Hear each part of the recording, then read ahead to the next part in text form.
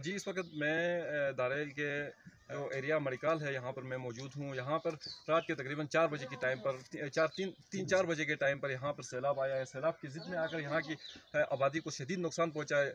अगर यहाँ के मकानों की अगर बात की जाए तो तकरीबन दस, बारह मकान मुकम्मल तौर पर तबाह हो चुके हैं और कई मकान मकानों को शदीद नुकसान पहुँचा है।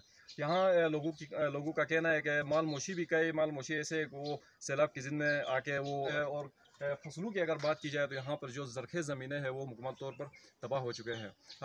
यहाँ के जो मुकामी लोग हैं उनसे हम जानने की कोशिश करेंगे कि ये इस वक्त किस किस सूरत हाल से गुजर रहे हैं। जी भाईजान आप क्या कहना चाहेंगे? रात को जब सैलाब आया था तो आपको क्या महसूस हुआ और आपको क्या तकलीफ़ का सामना हुआ?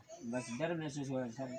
इसके बाद हमारे पास एक गाय था, एक गाय का बच्चा था, वो भी ये छः वो वो मशहूर का मकान था वो भी गए अच्छा। इसके बाद चार खेत भी गए और घर का बहुत नुकसान हुआ अंदर आ गया पत्थर सारा वो तोड़ के। अच्छा। और इसके बाद हम तो भागे तीन बजे वो सैलाब आ गया था। और इसके बाद ये नुकसान हुआ सर रात को इधर सैलाब आया और रात को सारा आवाम घर पदर हो गया और हमारा इधर तीन चार सौ मकान डूब गया। गरीब गरीब लोग हैं। इधर आगे मकान डूब गया आपने खुद देखा। ज़मीनें तो सारे ये ज़मीनें गारिश हो गया।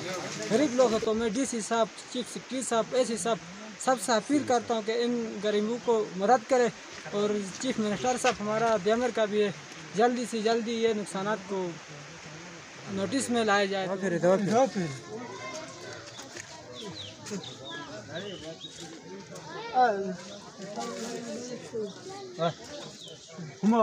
क्या कहना है क्या ये बेजबान एक करीब सा बंदा है इसका ये आप देख सकते हो, यहाँ पे एक कमरा था।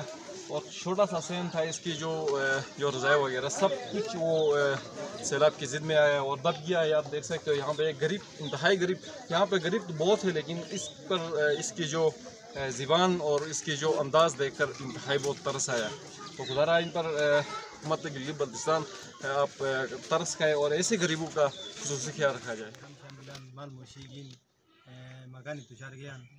ज़्यादा करेंगे ताउन को जी अगर यहाँ पे एक बात मैं भूल गया था अगर जानी नुकसान की अगर बात की जाए तो अल्लाह के फजल करम से यहाँ पे कोई जानी नुकसान नहीं हुआ है। बाकी जो मकानात और माल मोशी और जरखे ज़मीनों की काफ़ी नुकसान असिस्टेंट कमिश्नर अनवर साहब इस वक्त यहाँ पे उनसे हमदर्दी का इजहार कर रहे हैं।